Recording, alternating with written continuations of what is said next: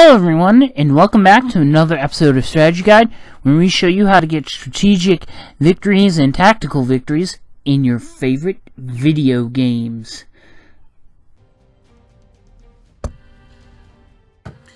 Hey guys,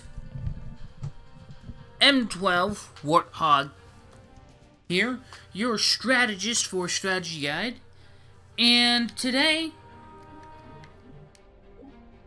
we are playing some more Supreme Commander 2. This time, instead of continuing the Illuminate campaign strategy guide, we are going to do a strategy guide about what you do in the Supremacy game mode of Skirmish. Well, actually, the online version, but I'm playing against hard AIs because I don't want to have to pause in between each video or pause to explain something to you and then get my butt kicked by an online player, well, I'm doing this. And plus, that would sort of hold up the game and if I was put on a team and all that stuff, but for now, I'm going to do a strategy guide. Last time I did a strategy guide for skirmish mode, that was a 2v2 and I played as a UEF. I'm probably going to do a free-for-all here. Then, um, probably I don't know, mix it up and do, uh, I'm not sure what I'm going to do for the Cybran one. Maybe I could do... Maybe I could do a free-for-all on a map I don't frequently play on as a challenge. And then maybe I have something else in stored later on down the line. But for now, let's hop into this. Right now, before we do anything else, this is a geothermal borehole type of supremacy. Rush timer is off. I don't normally do that. I only do that really to give the handicap to a person who's on a team of one when we do 3v1s, but usually, usually I don't really care if I'm on the team of one. Mainly because I know that I'm going to kick butt. Uh, we got uh, three hard AIs, and let's start into this. Remember, I do not play against cheating level AIs because, well, they cheat. I am starting in location A, and anyone in location B, C, or D is an enemy. Now we are going to build multiple stations, research stations for faster points. This is actually quite true. Now for base setup. The structures, I, I like the UEF because they have good strong structures. They have a lot of variety. They have support with their um, artillery, which can support their um, um, other units that don't have such a long range, like, like their heavy point defenses. But our ground turrets or long-range point defenses are so long they can hit them from far away, so they don't really need artillery to whittle down big guys before they get here because the turrets can do that themselves with their massive long range. So, you also may notice that if I were to go here, 200, 250, from the looks of it, once you start to upgrade things with your structures, they, you don't it seems like you don't really get a whole lot of um, stuff to start out with, but um, if you look at this, I it seems to me, in my opinion, that some of the buildings here cost a little bit cheaper. I'm not sure if it's the same as the UEF, but maybe that's just because I really don't play this play as the Illuminate that much, except for when I'm playing um, the campaign. But I do play it few times just to familiarize myself with some of the stuff that they have in the and what you need to know for this. And, well, at least enough to make this strategy guide. So, without further ado, let's see what else. Okay, so, for starters, I set up building all mass extractors and all mass extraction sites. Now, the next thing I'm going to do is make an air factory. Now, the reason for this is because we have... It's much better to do this as an Illuminate than any other faction because Illuminate has a fighter-bomber. It does not have a fighter and a bomber. They have one unit that is both. So it can provide air cover and ground cover, which is good because if you only build the land factory, chances are most of the units will either only be able to fight ground units and naval units if they're in range except for submarines, or only air units. And that can be a bit of a problem. So what you want to do is set up one of those, get all the attachments. Intel is not necessary as you're going to have a giant radar in the middle of the base, which will pretty much alert you of everything you need to know. So what you need is the factory add-on for tactical missile launcher, the air, anti-air turret, and the shield generator so that has its own defenses.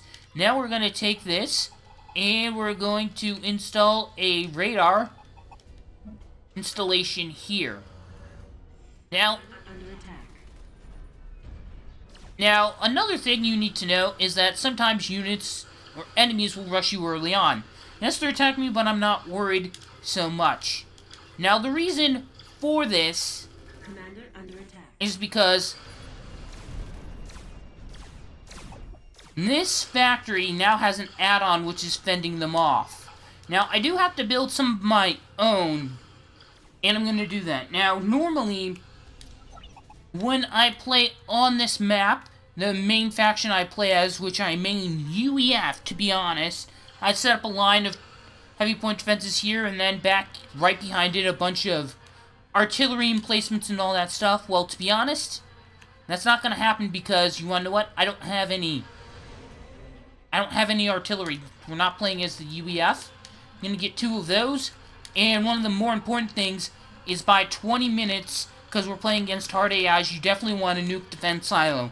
Now, this is probably going to be easier to get if you are a Cybran, as your nuke defense silo and your nuke silo is in one structure, whereas you have to build separate structures for each one. Though I'm not playing on nuking people, I usually do that when I want to shake up the um, standoff or the standstill that normally is occurring between two factions that are fighting and so forth. Other than that, that's the thing. Now, for this one, you definitely want to be able to set up shields when you when you get them for your units. Now the reason for this is because your turrets can't take that much damage. Your turrets cannot. They are not heavy point defenses and cannot take as much damage as the UEF. But what they can do is be protected by shields and take things out from long range. So you want to know what? That's exactly what we're going to do when we unlock the shield generator at 5. Increases regeneration of nearby units. I might do that later, but right now we need to focus on getting more research.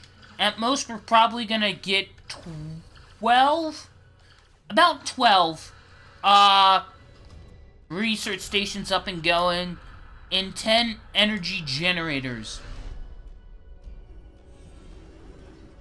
Now, another thing, we need more AA because we're going to be constantly raided early on, which we currently are by maybe one or two at a time. But uh, it's definitely something we need to be aware of and stop because they destroyed our radar installation. And I have to make another one. Making it on top of the ruins or the rubble of uh, a previous building of the same type allows you to place it down and build it with re with the reduction in terms of cost for for resources. So if I build it on the ruins of my old radar installation, that reduces the amount of energy and mass because it automatically makes use of the stuff that's already there to help it build much faster. Now we have shield generators. Now what I'm going to do is build one. Now, we probably would need a little bit more mass to continue on. And that's definitely good because you can get a mass converter early on. It's actually quite easy to get that. Now, I'm here and I'm trying to find that this is the nuke defense silo. So what I'm probably going to do is get the mass converter, then buy this, and then go straight for the nuke defense silo as that's probably going to be the next thing on our list of priorities. Being able to defend ourselves against nukes is definitely a thing you want. You do not want to be nuked early on. Now another thing that you want to know is that your nuke defense silos do not detect will detect all enemy nukes and shoot them down. Note, I said enemy. Your ally nukes you, you're screwed. because they will not shoot those down. Now have a mass converter. Now what you want to do is definitely build one of these. This mass converter will definitely provide an useful supply of mass as you are very limited on where you can put your mass. If you take a bird's eye view of my base, you can see that there, or in other places, that there's very limited spots as to where you can place down mass extractors, but you can literally place down energy generators everywhere except for a mass extraction site. So, with that in mind, you can now start to make other things as well. Now I'm going to start making a land factory. Probably going to heavily rely on Air Force for defense of this base. And because you're very limited and a very narrow path is allowed for your troops to move maneuver on, it's pretty easy for someone to easily set up a line of defensive turrets or point defenses, which can easily mow down your troops, especially if they're backed up by artillery, if we have any UEF players. Now, I'm not sure which exactly factions we have, because I haven't been paying attention to the type of uh, units that have been raiding us via the via through the air, but I'll start paying attention to that once I'm done building the basics of this base.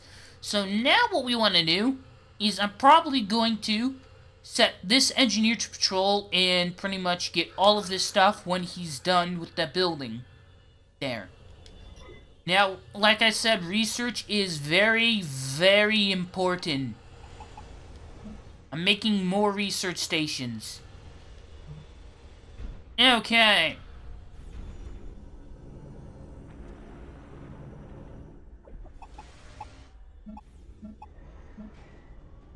Okay. Let's see here. I need 10 for a nuke defense silo. Getting this early on is definitely gonna surprise people, because, um, if you ever do a 3-on-1, and you have, like, a rush timer of 20, which is a common thing I've seen people do to give, uh, give the guy on the team of one a chance, they will have nukes by the end of 20 minutes, and you could easily be destroyed if you don't know what you're doing.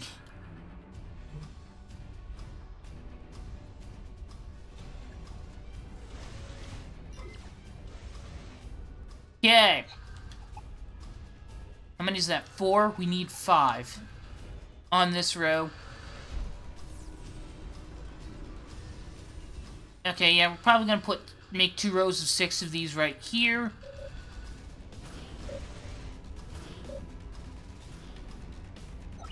Okay. This should be our last energy generator for now. We'll build more if we need them. Now I'm going to set up a bunch of air units and set up a shield for our point defenses here, are long-range point defenses.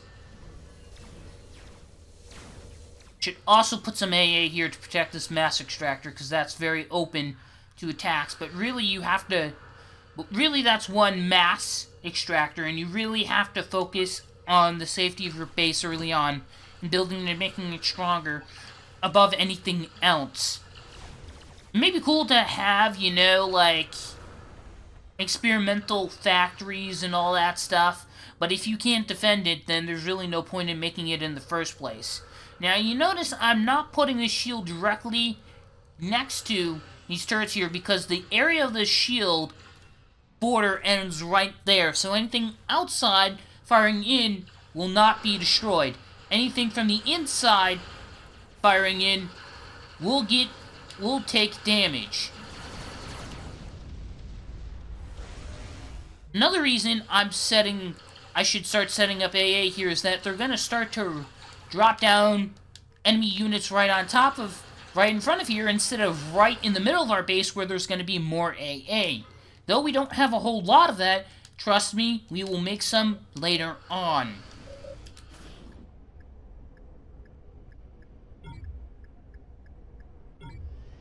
Now that we got our nuke defense silo, the next thing you want to focus on is going after um, upgrades that increase the amount of energy and mass that you get. That way you can build your things faster. And also training for your structures to provide a defense. Meanwhile, over here, I can now start the building, a repeat build of this unit here if I want to.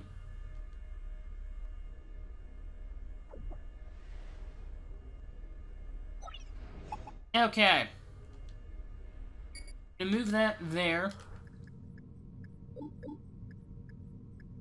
Now what I'm going to do is immediately buy reduced cost. Now the reason why I'm buying reduced cost for our air units is because I set it to repeat build. And it's going to, second it's done, it's going to start taking another set of 95 mass to make it, although now it's 90 because I've upgraded it. Okay.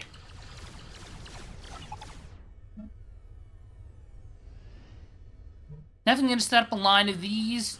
If I ever need to make land units, I'll just make an air transport and drop them right here on the other side because this is going to be blocking our entrance, but it's also going to be blocking the enemy's entrance into our base as well.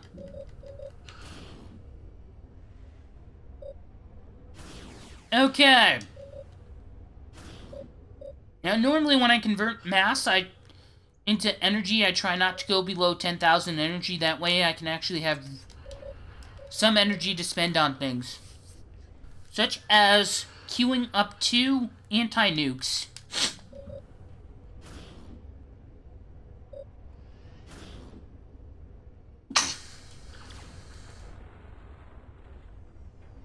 Okay. Now's the point where I want to make another um, research station over here, and now we're going to slowly set up more AA in this area.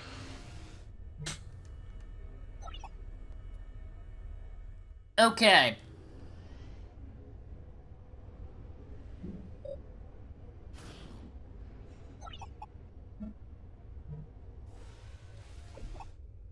Mainly what I'm going to do with this land factory, now that we have it up and running, is that I'm probably going to make it have more engineers, so that way we can pump out units, more units, as needed for this air factory, or for um, making more turrets and so forth.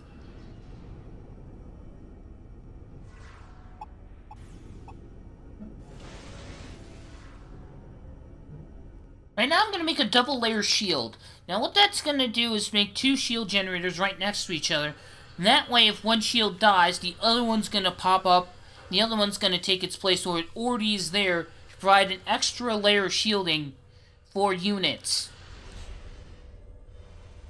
That way, they can still fire at the enemy without having to worry about taking much damage. I'm still going to keep an engineer here next to this for the sake of uh, making sure that they're all healed in case there's that one time that they do get break through the shields and they do take damage.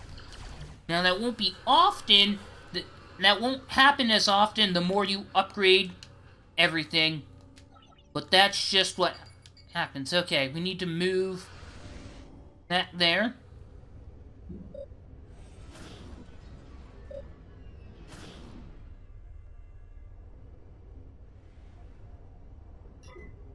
I'm to set this to patrol here, and that's to start extracting a whole bunch of mass from there.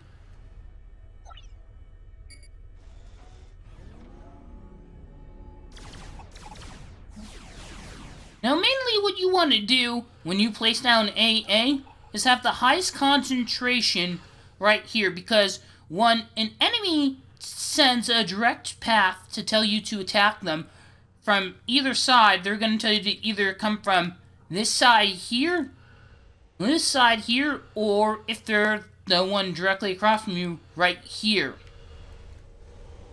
So having AA in place is definitely something you want because you can shoot easily shoot down any aircraft, whether it's just a landing, whether it's just a um, air transport just making transporting land units right in front of you, you can sometimes, or most of the time, shoot it down without any worries of um having to having to deal with the units that they drop. And also, we have a better chance of shooting them down as an Illuminant than we do for um playing as the UEF because I'm not going to spend most of my units on making a whole weird support grid that I that I normally make behind here with a bunch of shields and short-range artillery, which can easily destroy this.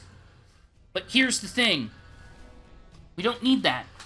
The reason for this is because we have more turrets here, and if I wanted to, I could when we unlock it, or I already have one, tactical missile launcher, and I guess maybe having one or two of these near the entrance is also good because if they start to set up stuff over here, you can slowly chip away at it. It's like a weaker version of the artillery, I guess. It can only hit, like, it's only good at hitting non-moving objects, though. At this point,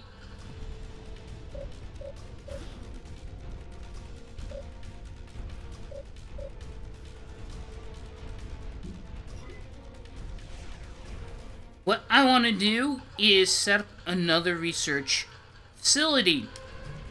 Now, now at this point, I'm going to set up a lot of things here.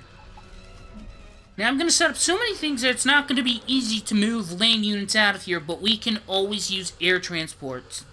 Having this here, having all of these here is definitely a good idea.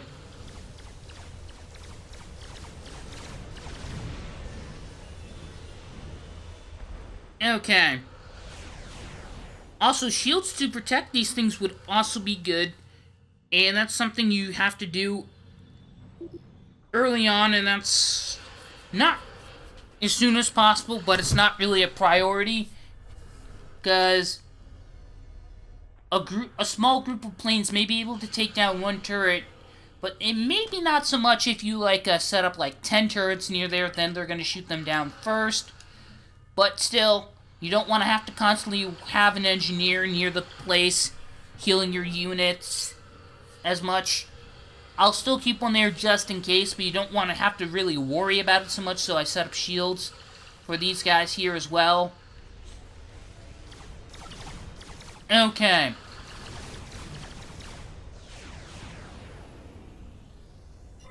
I'm to have my ACU make another research station. Now, for those of you who are wondering why I'm doing uh, my ACU, is because I want to get these fast, research fast as possible. Which is why I'm doing it. Okay. We got mass. We got the mass upgrade. Now what we want to do is go up to the ACU, get the damage, then the radar, then the energy, and then the mass, because now we're just going to increase our mass by a lot. But now what we want to do is go directly for core dump.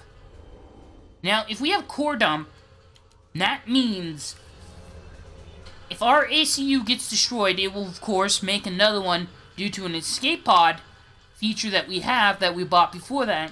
But what it also means is that it won't blow up like a nuclear bomb when it gets destroyed. And that's something very important that you want to know. It's a very important thing if you're being attacked. Do you have core dump or not? Because then, if you don't, your your people will just attack that and go directly for that. No, and they won't hesitate to stop. They they won't hesitate for anything. If they see your ACU, they're definitely gonna go for it. On the on the hopes that you did not get you did not play smart and you did not get core dump. But or that you don't have it yet. Put a shield over here.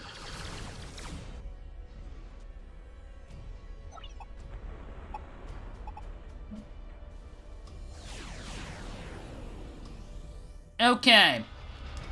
Have two tactical missile launchers. That's actually quite good. Gonna set up a few AA over here because we don't have any, but they're not really attacking from here. And if they did, they run directly into my Air Force. Gonna move that there. Okay. So now comes the part where you realize that you may have one nuke defense silo early on, and that's quite good. But the thing is, you definitely want to have more. Maybe one here, somewhere around here, one somewhere around here, and like one in the middle, like one at the four corners and then one in the middle. Now, the reason for this is that your nuke defense silo has a very has somewhat of a limited range on where it can shoot down a missile. If it launched one directly here, this one in the middle probably wouldn't be able to be in range to shoot it down. Which is also something I've learned, that if if you're trying to nuke an enemy base right in the middle and they have a nuke defense silo, shoot just outside of the base. You'll still do a lot of damage, but it won't get shot down. Okay. So, I bought some nukes for that one. Now, I'm probably going to have to wait until I can get some more resources to nuke the other one, but I think now is a great time to end this episode of Strategy Guide. Hope you guys enjoyed watching. If you did, taking the time to leave any comments, questions, or feedback for me in the comment section down below would be highly appreciated. And I will see you guys in another video.